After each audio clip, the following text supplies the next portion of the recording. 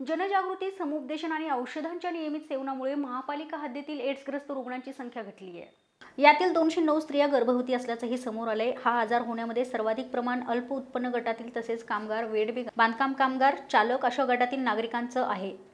High risk पालिकेकडनं शासनाच्या सूचनानुसार गटातील लोकांची वारंवार एच आय व्ही तपासणी रक्त तपासणी केली जाते सोबतच त्यांचे पालिकेकडून दर सहा महिन्यांसाठी कंत्राटी समुपदेशन सुद्धा करण्यात येत आहे. या पद्धतीने एड्सविषयक जनजागृतीकरता समुपदेशकांची महापालिकेकडून नियुक्ती केली आहे.